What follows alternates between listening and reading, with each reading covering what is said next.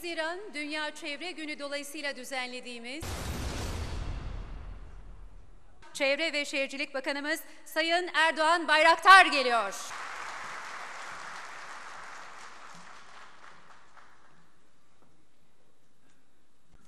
Bugün çevre konusu, çevre duyarlılığı ve iklim değişikliği dünyanın bir numaralı gündem maddesidir.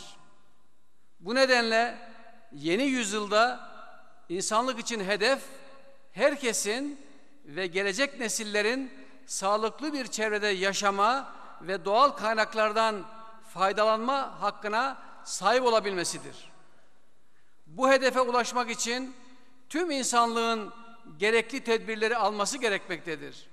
Örneğin sanayicilerimiz temiz üretim ilkesiyle çevreye duyarlı üretim yaparken bu ürünleri tüketen vatandaşlarımızın da temiz tüketim bilinciyle hareket etmeleri ve çevreye duyarlı ürünleri tercih etmekleri tercih etmeleri önem arz etmektedir.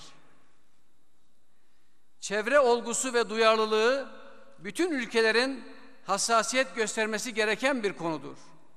Bu nedenle küresel bilinç oluşturma noktasında 5 Haziran Dünya Çevre Günü'nün önemi son derece büyüktür. Günümüzde tüm insanlığın bugünü ve yakın geleceğini önemli ölçüde etkileyen çevre sorunları artık dünyada farklı sosyal ve siyasal özelliklere sahip ülkelerin ülkelerin üzerinde anlaştıkları veya anlaşmak zorunda kaldıkları önemli bir konu haline gelmiştir. Denizim, denizlerimizdeki kirliliğin tespiti amacıyla kullanılan ölçüm istasyonu sayısı bugün itibariyle 250'ye ulaşmıştır. Bakanlığımızca çevre kirliliğinin önlenmesi ve çevre politikalarının etkin uygulanması gayesiyle çöp toplama aracı, kanalizasyon, atık su arıtma, katı atık düzenli depolama tesisi gibi çevresel altyapı tesislerine çevre katkı paylarından devamlı olarak bakanlığımız tarafından yardım yapılmaktadır. Son iki yılda yapılan yardım tutarı 358 milyon TL'dir.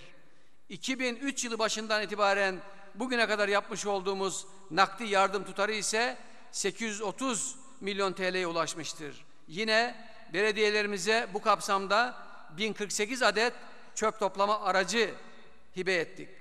Ayrıca yardım ve desteklerimiz uluslararası boyut kazanmıştır. İmkanlarımız dahilinde dost ve kardeş ülkelere hem proje bazında hem de teknik bazda destek oluyoruz, yardım yapıyoruz. Bu kapsamda önümüzdeki pazar günü Kalkınma Bakanımız Sayın Cevdet Yılmaz'la birlikte Mısır hükümetine 150 adet çok modern yeni çöp toplama aracı teslim edeceğiz. Bugün artık çevremizi kirletmeden kullanmak ve korumak zorundayız. Unutmayalım ki dünyamız kirlenecek kadar küçük, temizlenemeyecek kadar büyüktür. Çocuklarımıza temiz ve yaşanılır bir çevre bırakalım. Bu doğrultuda ülkemizde başlattığımız kentsel dönüşüm seferberliği bir çevre projesidir. Büyük bir çevre projesidir. Bir enerji tasarrufu projesidir. Fosil yakıt tüketimini azaltma projesidir. Kentsel dönüşüm seferberliğimiz aynı zamanda alt gelir grubundaki insanlarımızı ev sahibi yaparak hayat kalitesini arttırmaya yönelik bir projedir. Sizlere burada geleceğimiz açısından çevre konusunda bir de müjde vermek istiyorum.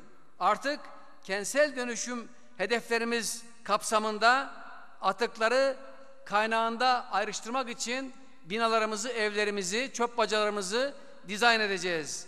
Kentsel dönüşümle inşa edeceğimiz üç kattan daha fazla binalarda çöpler kaynağında ayrıştırılabilecek, kurulacak sistemle evsel atıklar, kağıtlar, camlar ve katı yağlar ayrı ayrı toplanabilecek ve belli bir yerde toplanabilecektir.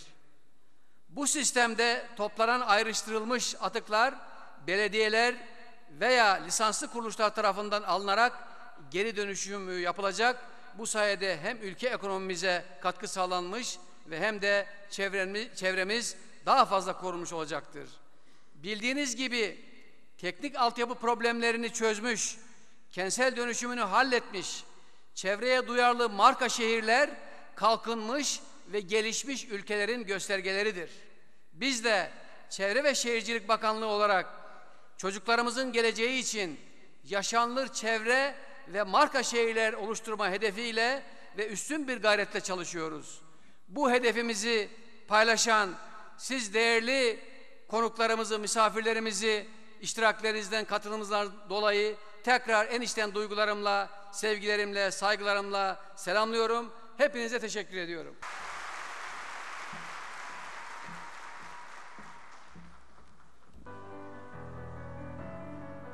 Zemin etüt çalışması, iş yeri açma ruhsatı, inşaat ruhsatı, enerji temini, atık su arıtılması, kanalizasyon bağlantısı, şebeke suyu temini gibi bir sürü işlemi sizin adınıza hızla çözüyorlar. ve diğer sosyal altyapı yatırımlarıyla sanayicilere hizmet verilmektedir. İnsan ve çevre ilişkisinin çok önemli olduğu bölgemizde gelişime paralel olarak çevre yatırımlarına da önem verilmiş